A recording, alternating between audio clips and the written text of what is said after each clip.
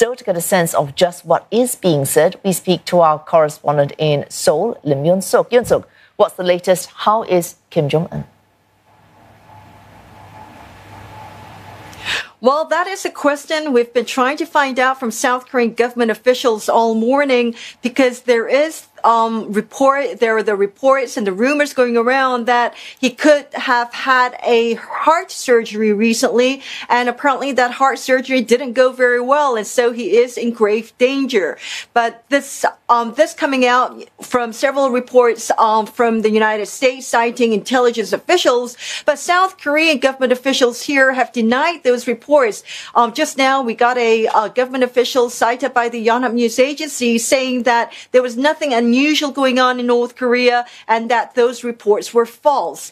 But um, remember, right now, there are really no contacts between South and North Korea. And so some experts here are saying that it really is difficult for the South Korean government to know exactly what is going on. And also remember, you know, North Korea is one of the most, if not the most reclusive, isolated state in the world. And so to know exactly what is going on, we will have to monitor this very closely.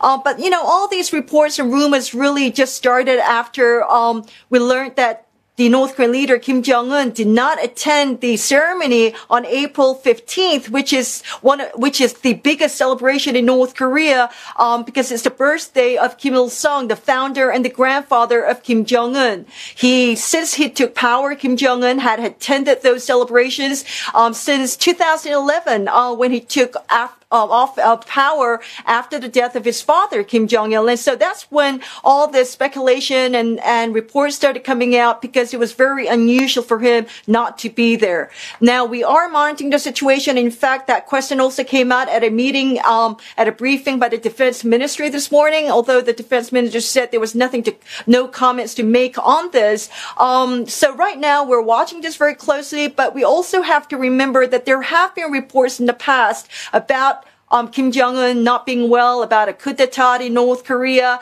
Um, and, you know, at the end of the day, it, those reports had proven to be wrong and he had made his appearance. So we will have to monitor this. But right now, the local reports here and everyone's really on top of this because if Kim Jong, un if there is something wrong with Kim Jong Un, then it could really mean, um, that, you know, then we'll be looking into the security situation here and to look into what is actually going to happen in North Korea. But for now, I think we just have to monitor this more closely to know exactly whether uh, whether Kim Jong Un, the North Korean leader, is unwell or whether he is fine and is running the country. Now we must also remember that the last time he was seen in North Korea and reports of his uh, whereabouts was on April the 5th, uh, April the 11th um, during a ruling Workers' Party meeting. He was there um, on April 11th, but on April 15th he didn't attend that celebration for his grandfather and the founder of North Korea, Kim Il Sung, and that's fueling all the speculation